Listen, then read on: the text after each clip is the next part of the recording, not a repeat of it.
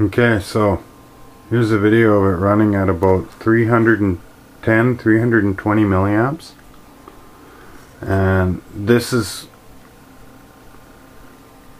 honestly, this is what I call a room light. This is the start of a, of a room being properly illuminated such that you could do things.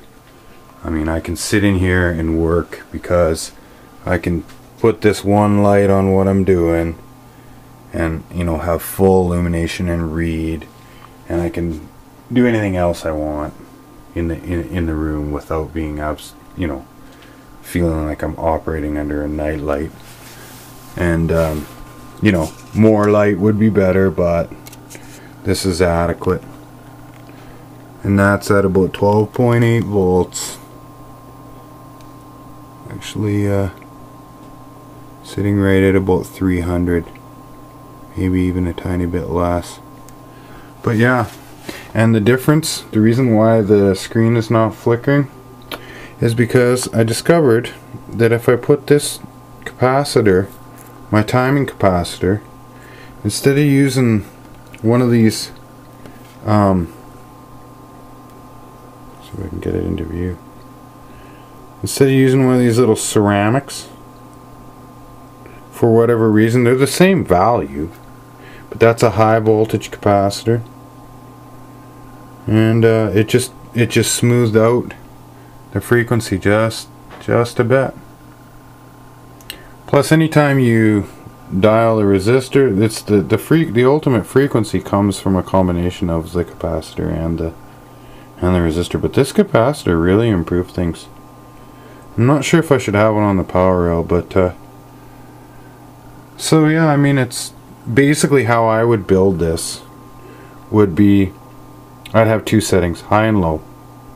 I wouldn't have it so that you could constantly mess around with this because when you if you turn that potentiometer real fast and mess with the operating frequency of this uh, unit here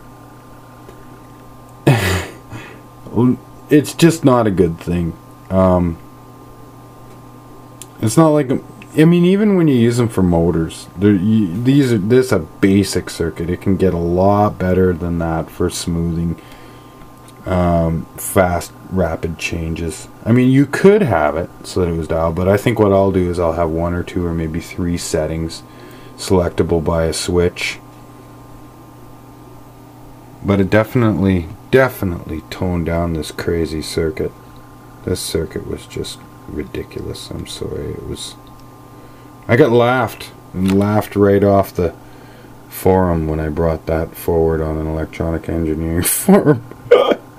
Just laughed, and the whole thing is laughable, I suppose. But whatever, it su su suits my needs, and you know, for 300 milliamps, that's pretty good light. You know, I know what 300 milliamps of driven LEDs normally linear gives me. And if it's better than this I don't know. I don't know. Then you got better LEDs than I do. Because I just I haven't seen it coming from one lamp and I know that this is this is not as economical as driving them straight up but it's good enough. And now you can run uh, extension cord you know you can actually run an AC line out which is the underlying goal. And you know it's a third of the current that it's less than a third of the current that the inverter is going to run it on. So it suits me fine. Thanks for watching